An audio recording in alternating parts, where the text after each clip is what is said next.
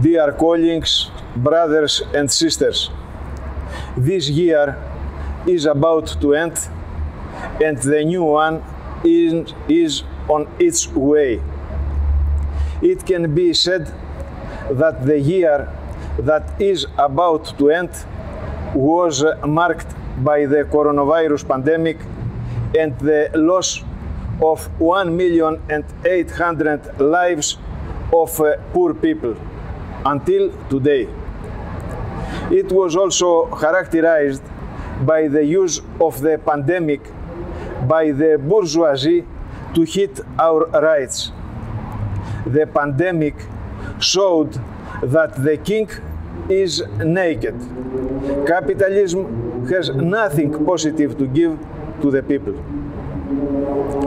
All the burdens of the pandemic were lifted on the shoulders of the health workers and the public sector, which, although it was slandered and hit by privatizations with low wages and large shortages of uh, personal and medical equipment, assumed and assumes the task of the great battle.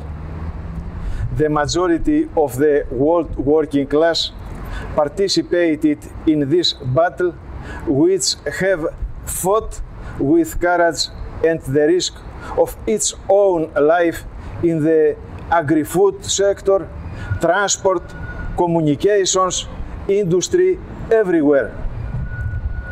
Once again, again, the moral superiority and humanism of our class was confirmed. In addition, this year that is about to end was marked by the great struggles of the workers on all continents. Great struggles that are the hope and optimism for tomorrow for the new generations. Among these struggles, I think we have to remember the two great national strikes in India, in which more than 500 million strikers took the streets.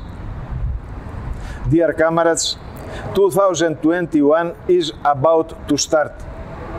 We wish all workers and people's health, happiness, and improvement in their standard of living, as well as family and collective happiness. We wish peace as well as an end to all imperialist interventions.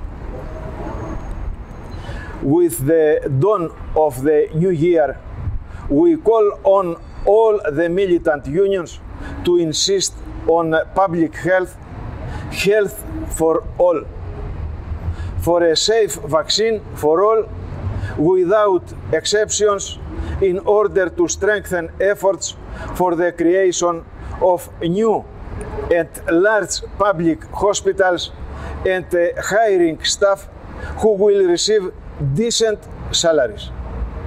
We hold high the flags against privatizations and we continue the campaign so that the Nobel Peace Prize 2021 be awarded to Cuba.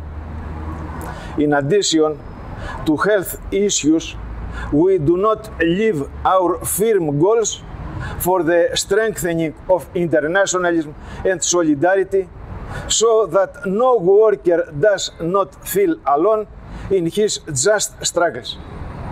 Internationalism has been and continues to be our initiative weapon.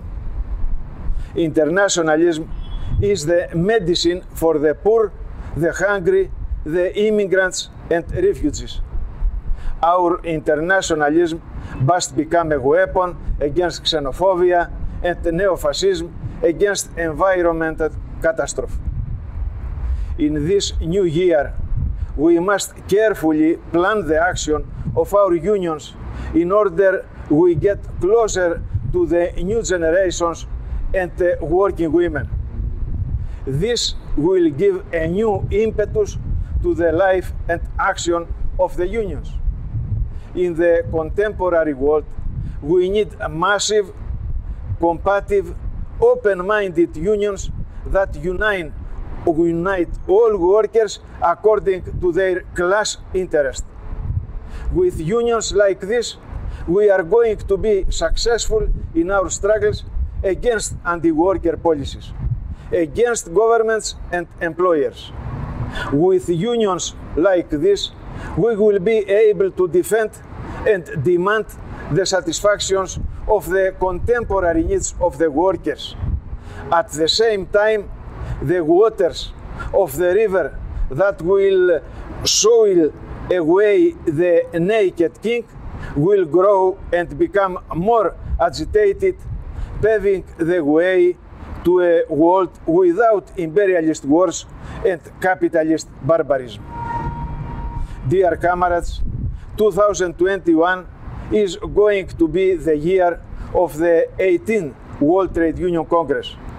We continue forward for a democratic, contemporary movement with class unity and internationalism, with faith and knowledge, with faith that make us more fearless in the struggle, and knowledge that provides us with the right tools. Happy New Year, everyone. Long live the working class.